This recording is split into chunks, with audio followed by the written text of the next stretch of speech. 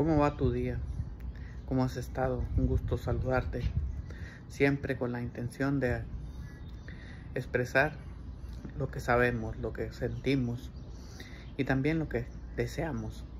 En estos momentos difíciles que estamos viviendo, siempre el camino hacia la felicidad, la tranquilidad, la convivencia pacífica nos puede permitir buscar esos escenarios donde seamos cada vez mejor y seamos importantes para las demás personas. Por ello te invito precisamente a compartir lo que tú sabes, lo que has soñado y seguirte preparando continuamente en eso que eres especial, en eso que eres para todos muy importante. Recuerda que ahorita la educación no tiene límites. La educación y cada uno de nosotros estamos más cerca de las herramientas y que eso no se convierta en el fin, el fin como siempre sea ser mejor persona.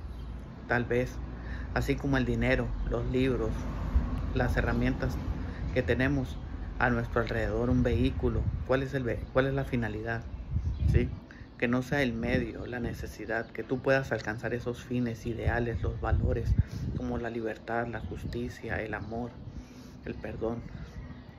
Todo eso que nos lleva a tratar de ser mejores cada día. Por ello, te invito en estos momentos que estás presente, que estás disfrutando de tu hogar, de tu tranquilidad, de esa sensación en la cual tú puedes ser mejor cada día.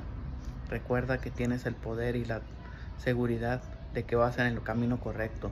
Si aprendes de los errores, si buscas nuevas formas de hacer las cosas, si estás pendiente en cada momento y cada situación de tu vida cotidiana para lograr eso que deseas necesitas puntualizar cada una de las cosas porque poder avanzar paso a paso, poder avanzar en ese momento difícil que todos tenemos y que a veces no quisiéramos que nos ocurra, pero tenemos que aceptar esa realidad que nos rodea, esas situaciones que de repente pueden cambiar lo que nos está ocurriendo de manera cotidiana.